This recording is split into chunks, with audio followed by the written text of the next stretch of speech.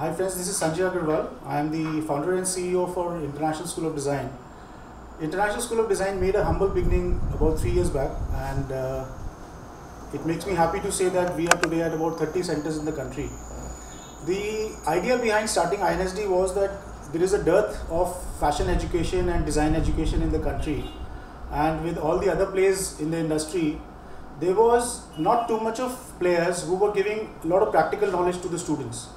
So the idea behind starting INSD was to give more of practical know-how, more like people in the USA or in the UK, they have their design schools and they usually want to give more practical knowledge because a hands-on experience is more important for a design student more than a theoretical knowledge.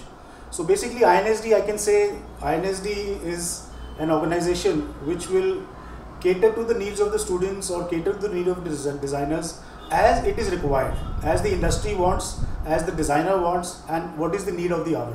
So that is what is INSD. Okay, what is your vision from the INSD? Well, the vision of INSD is very clear. Today we are at 30 centers. In the next three years, we have to reach to about 100 centers in the country. Apart from only making centers, the idea behind INSD's vision is to give the maximum to the student because we are what our students are. For me, the growth of INSD means the growth of our students.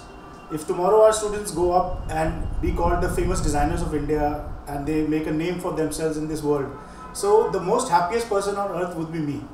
And that is what is the vision of INSD that we want our students to be the best and that's why we chose to give practical knowledge the best of the teaching experience the best of the practical know-how the best of the industry interface for our students so that is the vision of INSD. Okay. Uh, where do you want your students to reach? Uh, if there is any peak above Mount Everest, so that is where I want them to reach actually. See what happens is that when we talk about the students, I always get very sentimental in whenever I talk about our students and the reason why my emotions are attached with my students is because I treat them like my own son and daughter. And the only vision which I have for them is to make them reach a level where they are self independent. They don't have to bow down their heads in front of anyone else. They are their own brands in their own way. Each name which passes out of INSD becomes a brand. So that is my vision for my students and that is why we keep conducting regular seminars, regular industry interface so that we can actually show the students where they have to reach and how they have to reach and which is the right path.